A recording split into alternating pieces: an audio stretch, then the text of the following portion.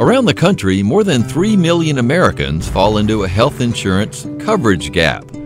This means they make too little money to qualify for tax credits to purchase health insurance on healthcare.gov and too much to qualify for Medicaid coverage.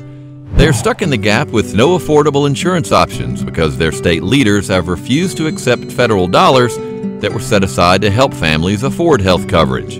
Who are these people? They are our neighbors and friends, many of whom work in industries such as construction and tourism, in restaurants and nursing homes, and other sectors vital to our economy, but which often do not offer health coverage to employees.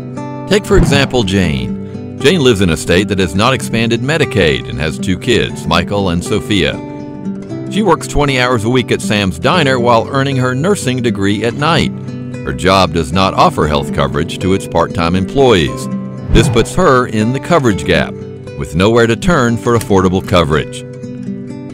So far, more than half the states have closed the coverage gap and made health coverage available to people who need it.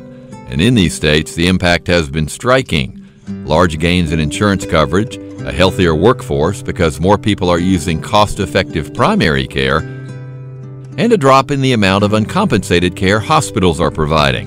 People living in these states are protected if they change or lose their job or if they have a serious health condition that only insurance can pay for. The states that have not closed the coverage gap are headed down a different path.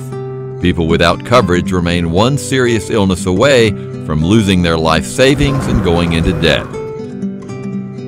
Some hospitals are closing because many of their patients don't have insurance that can pay their bills. And rather than bringing federal tax dollars home, state leaders are leaving this money in Washington.